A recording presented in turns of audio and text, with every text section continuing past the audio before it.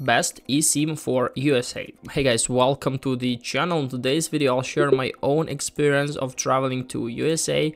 We'll discover which eSIM is the best one for this destination and I share my own experience. So I tried a lot of different platforms like GigSky, Nomad eSIM, AloSIM, Ubigi of course, and Airalo, Holafly.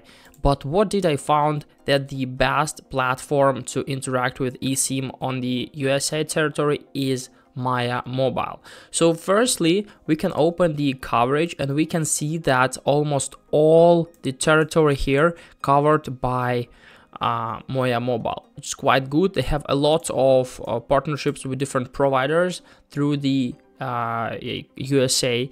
And if we are going to find their paid plans, their plans at, at all, we can see that for USA, we have a lot of customization options. So firstly, we can find different data amount from 3 gigabytes to the unlimited data, which is quite good. For example, on Holafly, we can only find the unlimited options. On Airalo, we won't be able to customize number of days, number of data. On Ubigi, it's, it's not that easy to interact with Ubigi website at all, so I don't really even want to use it in the future. On AloSIM, they it could be a little bit hard also to find the suitable plan. So on Maya Mobile is really really good uh, like eSIM I ever tried.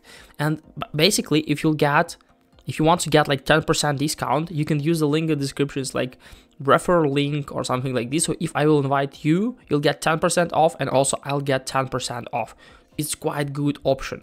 So you can get the unlimited data for 10 days for only $29. On the same uh, options on Holafly, we'll have to pay 34 euros, which is a lot more basically it's in euros and here we have price in US dollars. So in this case, we can firstly choose the number of days. Then we can find the number of data. And as for me it definitely worth to use Maya mobile.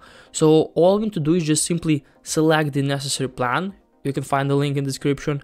Then just simply click on activate. And after that you just simply pay all the things. We need to select the plan activation day uh, plan length. So like this uh, do we want to re uh, renew this plan automatically auto recharge included with your eSIM. So also like full-time support, 100% money back guarantee and trip cancellation guarantee, which is quite good.